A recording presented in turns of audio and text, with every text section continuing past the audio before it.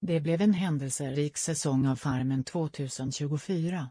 Men efter att efter en spännande kamp på tinget stod det klart att Fredrik Tryggummet och Tim Eklin föll precis på målsnöret. Kvar för final blev istället de forna Farmen-deltagarna Levin Larsson och Cornelia Nordensson. Efter en olidligt spännande final gick vinsten slutligen till Levin Larsson, 33. Jag har vunnit och jag mår så jävla bra. Fy fan, vad gött. Säger han i programmet och fortsätter. Jag ska köpa mig en gård nu. Jag ska ha min egen jävla farm. Jag har vunnit, jag har vunnit. Jag kan säga det hur många gånger som helst för jag förstår inte. Inför finalkampen ställde programledaren Anna Brolin frågan vad finalisterna skulle göra för vinstsumman på en halv miljon kronor.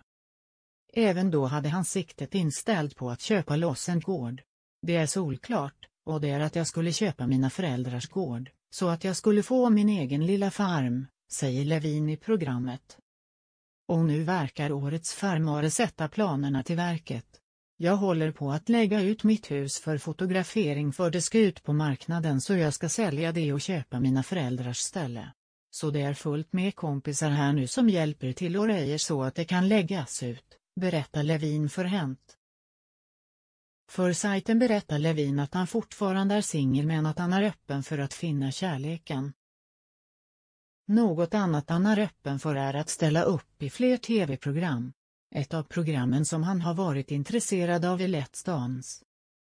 Alltså alla dörrar är ju öppna.